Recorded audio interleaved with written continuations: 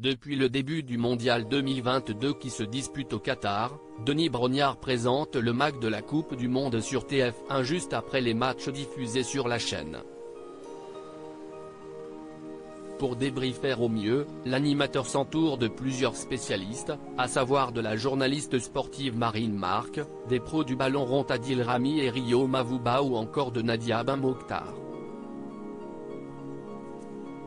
Cette dernière est présentée en tant que consultante et livre toujours des analyses pointues sur les déroulés des rencontres. Il faut dire que Nadia Ben Mokhtar s'y connaît bien dans la matière. Elle a même baigné dans le milieu du foot depuis sa tendre jeunesse grâce à son père, un ancien joueur professionnel algérien.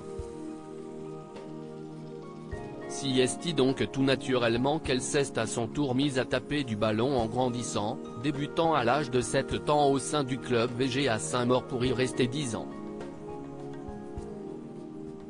À 17 ans, Nadia Ben Mokhtar a ensuite rejoint l'équipe en D2 de Compiègne avec laquelle elle évoluera un temps jusqu'en D1. De 2008 à 2010, la défenseuse a joué à la com bagneuse avant de terminer sa carrière professionnelle avec le FCF Juvisy. Sous les couleurs de ce maillot, la sportive a eu l'occasion de participer à deux reprises à la Ligue des Champions en 2011 et 2013.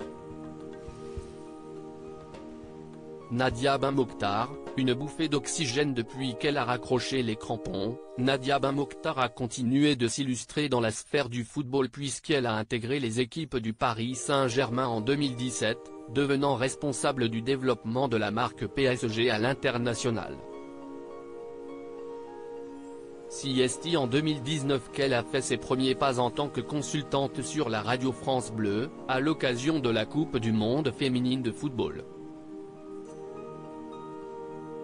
Deux ans plus tard, en 2021, elle a été recrutée par TF1 pour le MAC de Denis Brognard qui suivait alors l'Euro féminin 2021.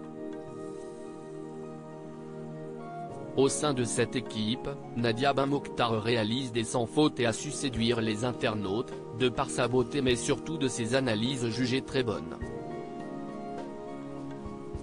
Je la trouve très jolie cette Nadia Ben Mokhtar et en plus si est elle qui a les meilleures analyses, j'ai bien Nadia Ben Mokhtar sur le mag, elle devrait avoir plus la parole, franchement Nadia, je le dis sans arrière-pensée, vous surclassez beaucoup de spécialistes analystes du football.